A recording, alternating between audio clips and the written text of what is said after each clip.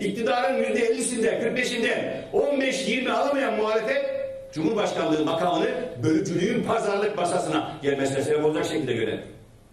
Dolayısıyla ben hiç kimsenin alınganlık etmesine, hiç kimsenin kırılmasına sebep olacak bir memleket evladı değilim. CHP'ye oy veren ve umutlanan kardeşlerimiz, HDP'ye oy veren ve bütün oylarını alınca iftihar edeceği kardeşlerimizin oylarından, reylerinden ve umutlarından azade söylüyorum. Siyaset yönetici kadronun eliyle ilkesizleşir. Siz dün yaptıklarınıza, iktidar yaptı diye kızdıklarınıza kendiniz de alet olup benzerseniz o zaman iktidara gelmeniz ne anlamı?